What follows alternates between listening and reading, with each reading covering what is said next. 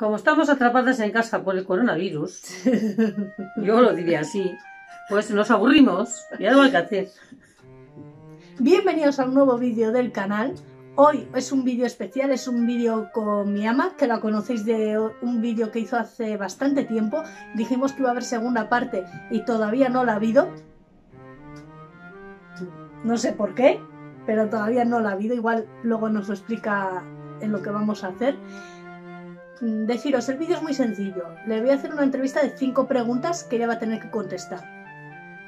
Y espero que os divierta en estos días que tenemos que estar en casa. Es una forma que tenemos de divertirnos, sobre todo porque lo está pasando mal haciendo este vídeo.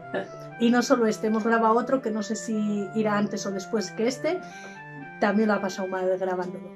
Eh, Si yo me pongo nerviosa, me ponía más nerviosa, ella se pone más aún. Ella se divierte, tiene que sufrir.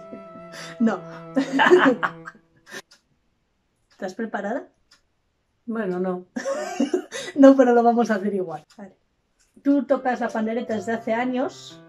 Eh, ¿Cómo empezaste o por qué empezaste?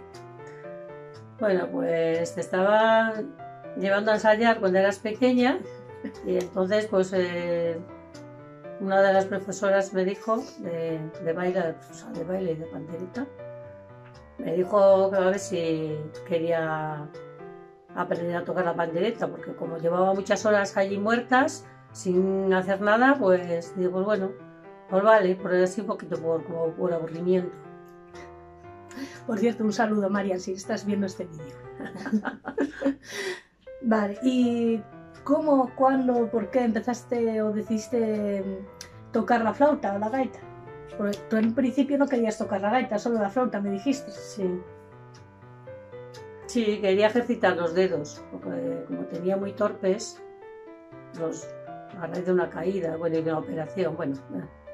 Y entonces me costaba mucho mover los dedos y me vino muy bien ejercitar, hacía escalas y luego como me aburrí de hacer las escalas, pues le dije que, que bueno, que me enseñaría alguna canción porque era desesperante.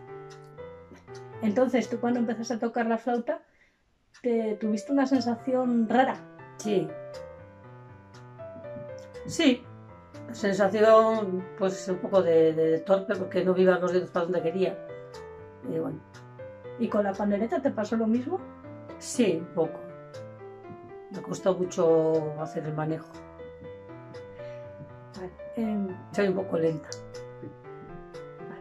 tercera pregunta. ¿Cómo aprendes las canciones actualmente? Pues mira, actualmente las aprendo por, por partitura, leyendo las partituras. Se pega el curro. Me tiene en casa, pero no coincidimos, a excepción de hoy que la he secuestrado un poco, eh, para hacer estas cosas de enseñarle como os enseña a vosotros a través de los vídeos. Entonces me pidió que le enseñara a leer partituras. Y también mira los vídeos que yo hago de la canción que quiere aprender y la mira por la partitura. Combina las dos cosas. Porque eso no coincidimos en casa. Aunque estemos en casa. no se lo van a creer. ¿Podrías decirnos tres cosas que te ha aportado eh, tocar la flauta, la gaita? Pues bueno, me siento más segura tocando las canciones con pandereta. Aunque a veces no se note mucho porque me pongo nerviosa. Pero bueno. Y, y bueno, también me doy cuenta de, de cuando las canciones no suenan bien, que antes no me daba cuenta. Dilo Sí. bien claro. Cuando los gaiteros nos equivocamos, se da cuenta ahora. Pues sí, antes no me daba cuenta. Sonaba algo raro pero no sabía qué. Y otra cosa. Y bueno, creo que el oído lo tengo como más desarrollado. Me doy cuenta de muchas cosas que antes no me daba cuenta. Antes de tocar la, de empezar con la flauta y luego con la gaita. Eso. Aparte de que no lo hago bien todavía, porque Va a haber una pregunta extra, pero ¿qué consideras más fácil o difícil? ¿La flauta, o sea, la gaita o la pandereta? bueno. A mí igual me está costando más la, me ha costado más la banderita que la gaita. Porque bueno, aunque la gaita cuesta, pero no sé, la pandereta estuve más tiempo con ella para poder para poder hacer los ritmos bien. Y ahora sí, la última pregunta.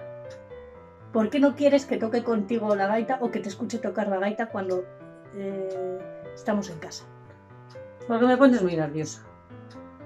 Porque Bueno. no, porque no me sale bien y entonces pues estás ahí mirando y es como que... Al fin se lo he sacado. Se lo llevo preguntando tiempo y nunca me ha dicho el por qué. Me ha dicho, no, no quiero molestarte porque estás estudiando, estás no sé qué, estás grabando.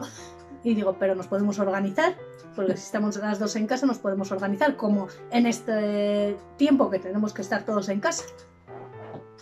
Ya, pero bueno. Vale, es porque le pongo nerviosa. A todos. De hecho, sí, digo, la escucho tocar, lo está haciendo bien, a veces no saco la flauta, me acerco y me lo hace mal. Digo, vale, me doy la vuelta y lo vuelvo a hacer bien. Yo creo que eso nos ha pasado a todos. Con todos los profesores que hemos tenido, nos ha pasado a todos. Bueno, ¿Qué? ¿Tan mal estado? no, ¿Sigues estando nerviosa? sí. Pues porque no estoy acostumbrada a salir en, en, la, en, la- en los vídeos. Entonces, pues, me cuesta mucho, me veréis poco por los vídeos. Pues esa es una de las razones por la que no hemos hecho la segunda parte de aquel vídeo. Y también pasó que le operaron operaciones menores, pero que no podía tocar la gaita. Entonces ha estado mm, temporadas que no ha podido ensayar. Y claro, no vas a grabar el siguiente vídeo cuando no ha ensayado. Tampoco lo dejas de ensayar mucho, la verdad. No, Ha sido como muy, eh, pásalo, ya está. Pásalo a la gaita y ya tócala. Ah, el- la canción sí. Le pilla un poco ahí en extremis, sí, sí, para que no se arrepienta. Nos despedimos ya. sí. Bueno, pues espero que hayáis pasado un rato agradable y Y que le deis muchos likes.